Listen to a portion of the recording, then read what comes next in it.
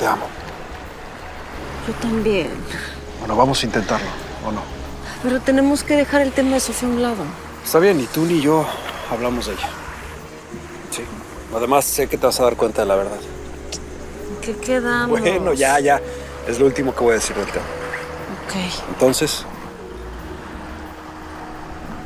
No sabes cuánto te extraño.